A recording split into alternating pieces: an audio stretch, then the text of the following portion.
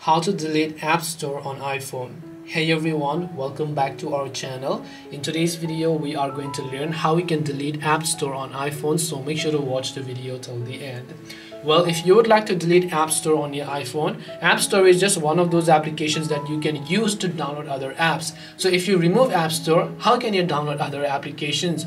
That is why Apple does not make it possible for you to remove App Store because it is going to cause issues. Because you can see, I can long press on the App Store icon here, I can tap on remove app, but I can only remove from my home screen and not completely uninstall the application.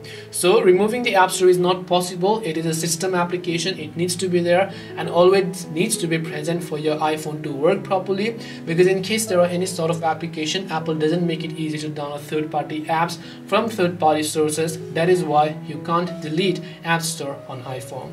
So hope this video helped you guys. If you have got any questions feel free to leave them down below. Thank you for watching till the end and see you soon in our next video